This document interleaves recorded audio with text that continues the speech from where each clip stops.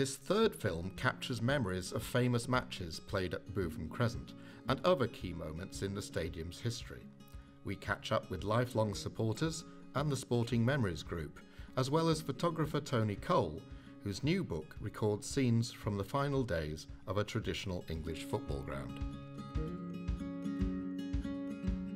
First time and the last time I ever sat in the main stand with the posh people.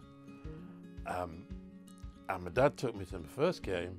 The only reason we sat in the main stand was because we had a distinguished guest with us who was a high ranking official from the Iraqi Railways who had never seen a football match in his life.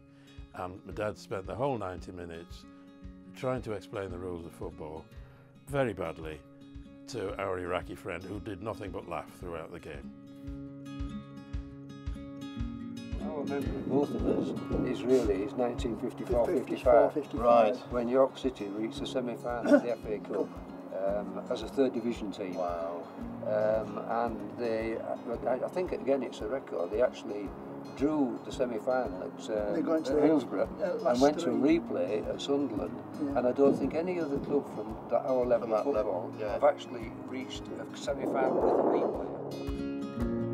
Fonder and much clearer memories of 1955, a miserable, snowy, frosty day when we beat Spurs 3 1. Special day in many, many ways. And it got closer and closer to kick off. And the crowds were building.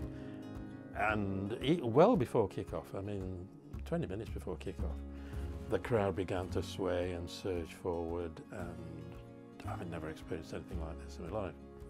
Anyway, the game kicked off and not much more than 15 minutes after kick-off, there was a huge surge and the fence gave way. Was delight for me because the, the police just funneled several hundred people through the broken fence and I watched the game from the touchline and had a first-hand view, unimpeded view of Norman Wilkinson's two goals and wonderful. I can remember every moment of it. Teammate Bill Hughes takes over. A centre to Wilkinson, and there's the equaliser. A superb header by Wilkinson. York with Wilkinson again in action come back for another. Fenton has two shots at goal, and the second smacks home. York, the little team with a big heart, have taken the lead. Goes to centre to Wilkinson. A terrific slam, and York City have clinched the match. 3-1 is the final score. Another feature of games, five minutes before the end, there would be a, a flag lowering ceremony.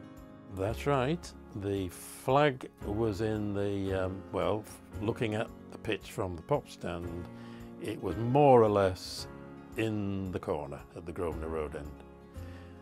And it was the York City flag, a special flag, club flag, and it came down five minutes before the end of the game.